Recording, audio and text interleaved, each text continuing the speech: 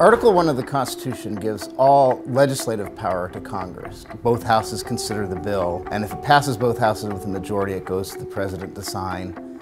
The president signs it, it becomes the law of the land. And that's the traditional way that the framers of the Constitution viewed the way that laws should be made.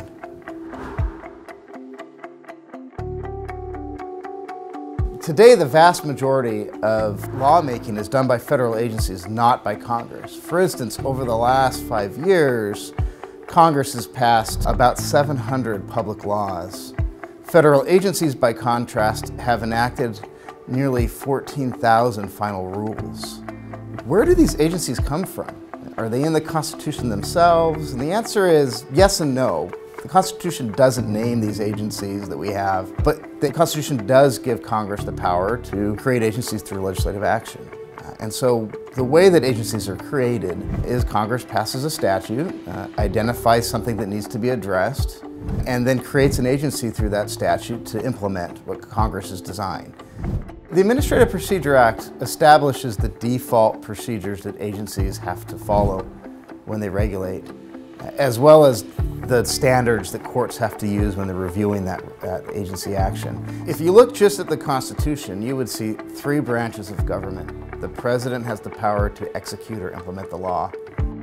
Congress makes the laws, and the judiciary judges or adjudicates disputes. But how it actually works today is there's the federal agencies that are oftentimes called the fourth branch uh, that exercise a type of all three of those powers. Uh, they exercise legislative-like powers through rulemaking, through creating laws that bind all of us. Uh, they exercise executive power because they're the, they're the agencies that are executing the president's agenda. Uh, and they also adjudicate.